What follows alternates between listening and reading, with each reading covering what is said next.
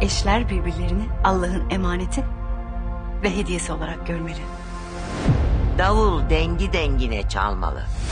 Baba sen ne yaptın bugün? Ne yapacağım oğlum? İşteydim.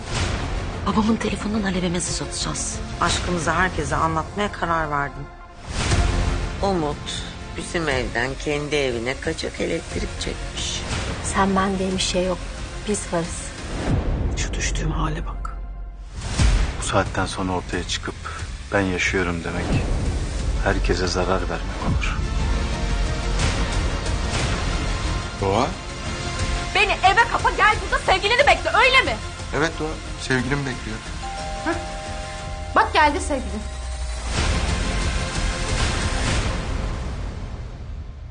Kızılcık Şerbeti yeni bölümüyle Cuma Show TV'de.